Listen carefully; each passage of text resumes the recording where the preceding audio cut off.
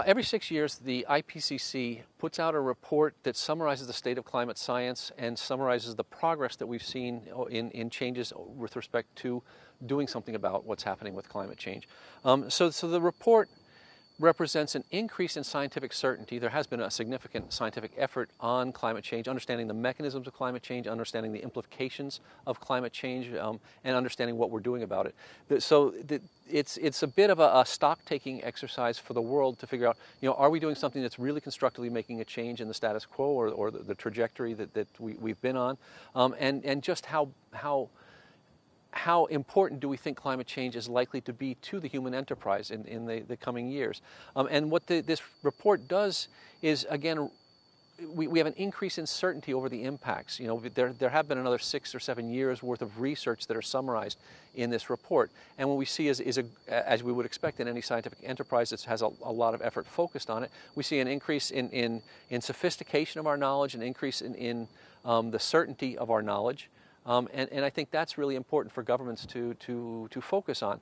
Um, and we also see greater alarm bells being rung by the scientific community saying, you know, we, we thought that, that this was, you know, pretty likely that, that, that humans were doing it. Now, you know, we're 95% certain that this, this climate change that we're experiencing is not natural background or it's, it's not something that, that's natural variation within the climate system, that we are actually having a human impact on the, the climate system.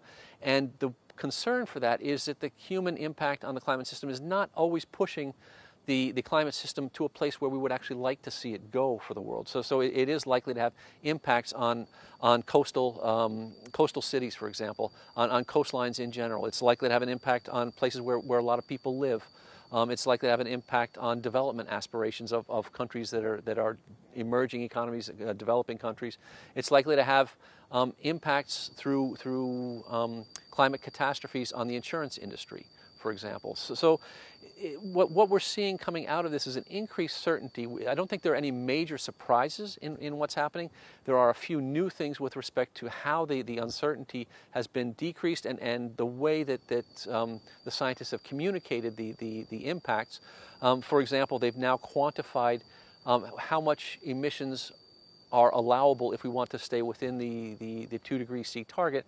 And they've shown that, that we've probably emitted about half of the carbon dioxide that we could emit um, in order to, to, to, uh, to, stay within that target, which is alarming because emissions are increasing at, at exponential rates. They're not increasing at, at arithmetic rates, it, it's exponential. And that means that, that we're accelerating the rate at which emissions are happening. And that, that's not the direction that the world needs to be going if we're actually going to, to limit climate change and the damages associated with climate change to this 2 degrees C uh, target.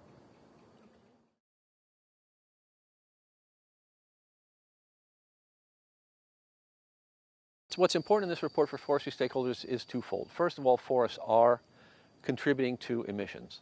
And so emissions reductions from deforestation and forest degradation are an important part of the, the solution.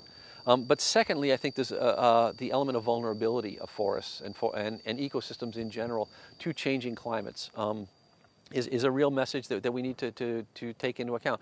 You know, many people around the world depend upon forests for their livelihoods. You know, many people who are living at subsistence livelihoods are depending upon forests for, for, for that livelihood. Um, in, in, in, developed countries, we depend an awful lot on forests for, for, you know, we have wood needs, fiber needs, paper. Um, we, we, we, use forest products all the time. Um, and these products are likely to become more expensive over time because of some of the, the uh, the changes that are happening in forests. Tropical forests are a major source of, of, of fiber um, to, to uh, developed economies.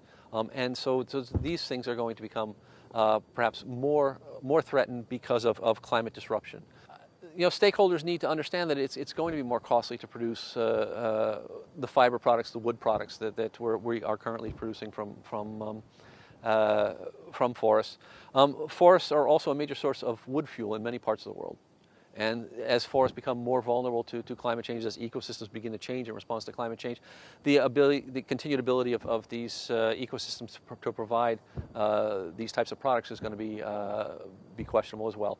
So, so there's a, a, whole host of messages for forest stakeholders, for forest users, and for for um, for people who are interested in climate change mitigation about uh, the importance of the continued importance of forests and ecosystems uh, worldwide in responding to the, the challenges that climate change is, is going to throw our way in, in the coming years.